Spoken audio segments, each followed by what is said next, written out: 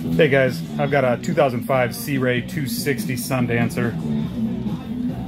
Sorry about the music. It's a boat next door. Cannot find the owner of that boat to turn it down. Nice little cabin down below.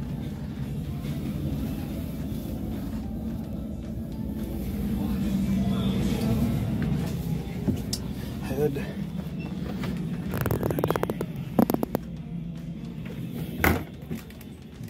Cover.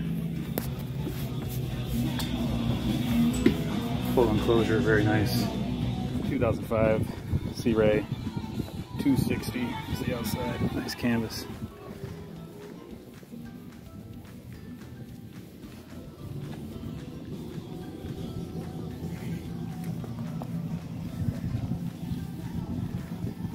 Boat has right underneath 500 hours on the hull. Does have a brand new Mercury 350 in it, 115 hours on that.